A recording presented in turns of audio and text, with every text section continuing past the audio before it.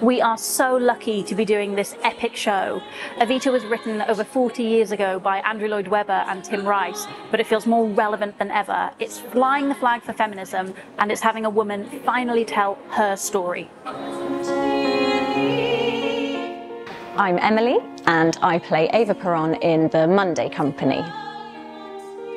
Having the opportunity to play such a fascinating character and getting to sing Don't Cry For Me Argentina is a dream come true. The song portrays a pivotal moment in Eva's career and the image of Eva and Juan Perón delivering their political speeches on the balcony of the Casa Rosada is truly iconic.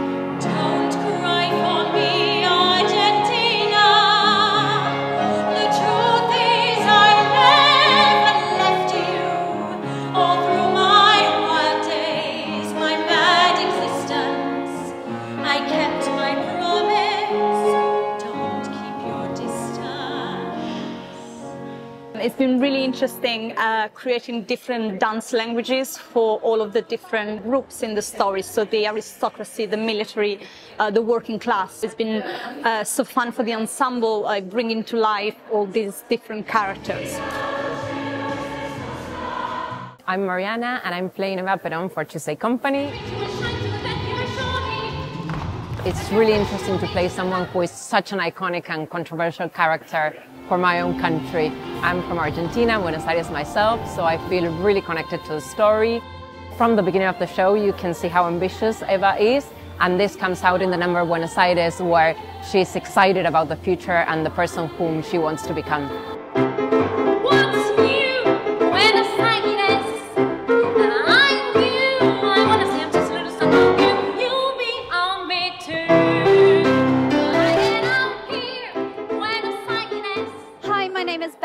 I play Eva Peron in the Wednesday Company. The choice was mine and mine completely. It's such an honour and privilege to play such an extraordinary woman.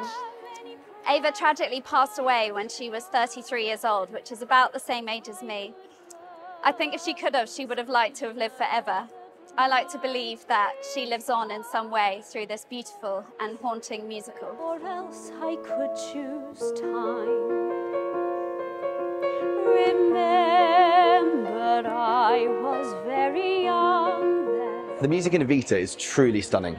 Um, it started its life as a concept album, a rock concept album, as did Jesus Christ Superstar, um, and went on, of course, to become one of the most successful shows Lloyd Webber ever wrote, including the first British musical ever to win a Tony Award.